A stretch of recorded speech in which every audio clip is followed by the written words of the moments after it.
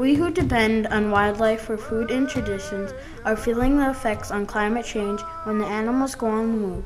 For the wildlife, you know, we never used to see all those animals that you're seeing now.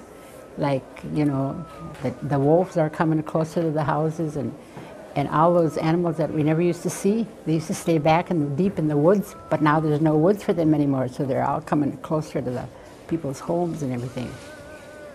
Springtime comes around and you start seeing different kind of birds, you know, uh, barn owls, that sort of thing. We don't, we've never seen them up here. Getting different kind of geese, ducks, you know, mallard ducks, and pintails that we never used to see around here. Getting to be more swans, you know, it's very unusual.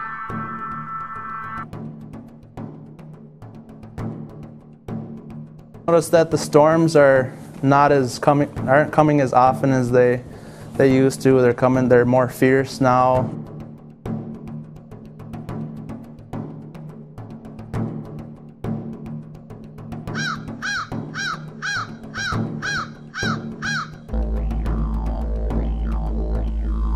Like the Inuit people, the polar bears depend on seal, not walrus.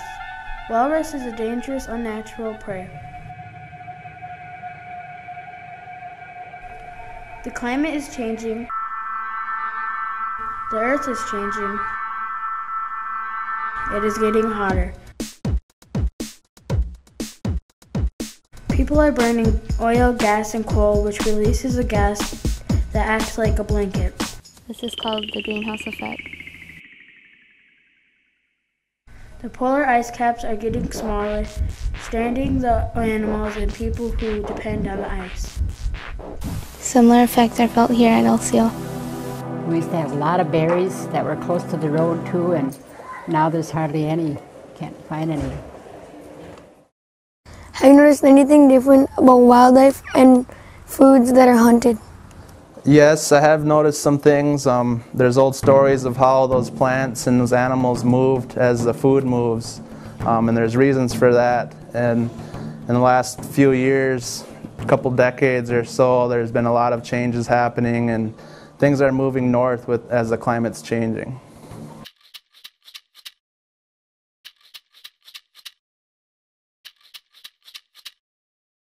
If the climate keeps changing, Indian people will have to change. the diets will be different, the customs will be different.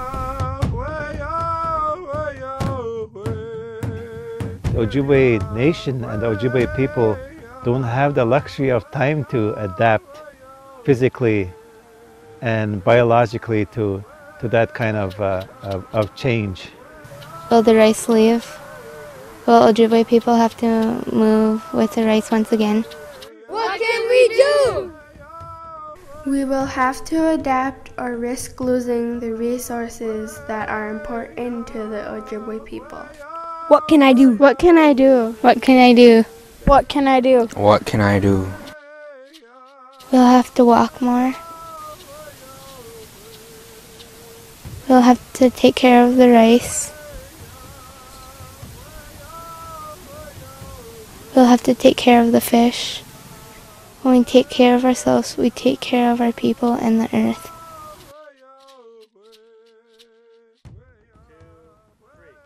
What can I do?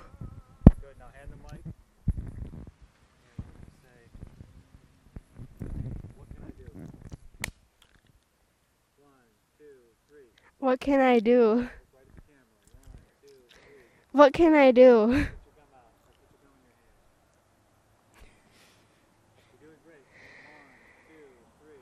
What can I do?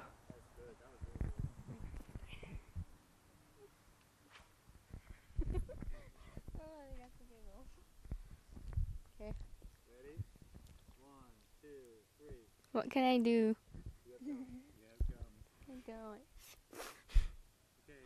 Keep the lower the microphone. No, you, you can have it close to your face, just don't have it any higher than your shirt. Ready? One, two, three. What can I do? Sorry, one more time. One. Lower the microphone. Good. One, two, three. What can I do? That was good.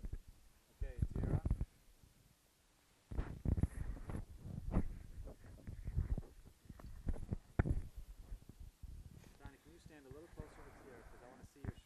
shirt.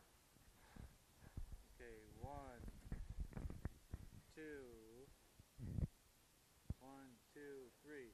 What can I do? Look right at the camera. One, two, three. What can I do? Great. Okay, Donnie, last but not least. Look right at the camera, please, sir. One, two, three. What can I do? Try again. One, that looks good. Just a little louder. One, two, three. What can I do?